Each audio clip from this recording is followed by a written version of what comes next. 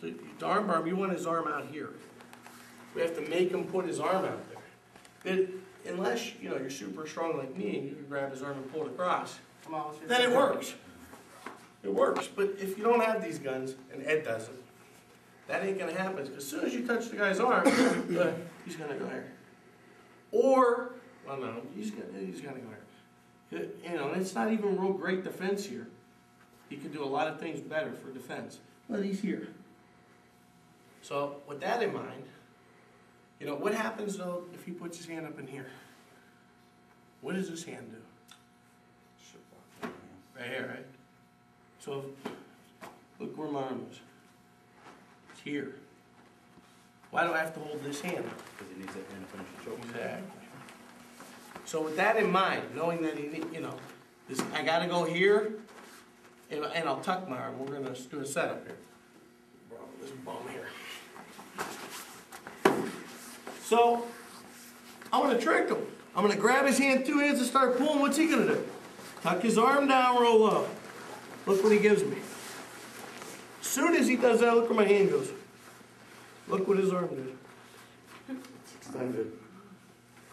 cup it, bring it to the center, and I'm gonna put my thumb in the back of his gi and hold his head down. Now he can't lift his head.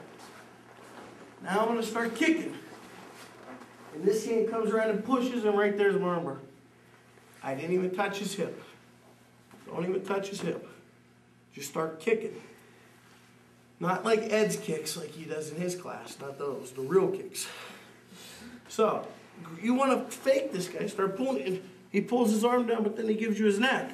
And don't leave your arm here, because look where his arm is.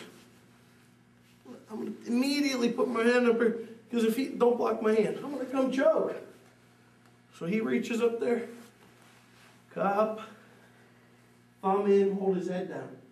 Make posture. Now I start kicking. Now I'm here, push the face. There's your arm work. And this leg, when I'm kicking, it's sliding up to where it needed to be up on his back anyway. And then that thumb, just bring your hand around and push his face. I'll go real slow.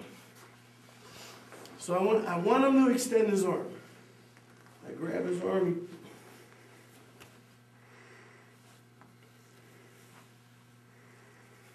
Right here. And now I'm gonna start kicking. Bringing my leg up. Push his face. Come right into the armbar.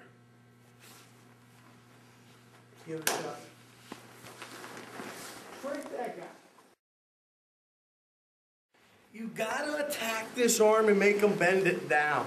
When he brings it down, he gives you his neck. And immediately hide here, I want him to extend his arm. When they catch here, you're just not gonna pull his arm across. Keep your legs locked. Use your hips. And get his arm across. And grab over here by his ear. Like you're gonna give him a wet willy, watch. now when I start kicking, my hips go the way I'm kicking. I can relock my legs here. And then my hand's gonna stay in the collar until it comes around and pushes. And then I'm gonna start climbing for the arm. Don't worry when you're training about that part. Worry about getting here. It's easy to do that part.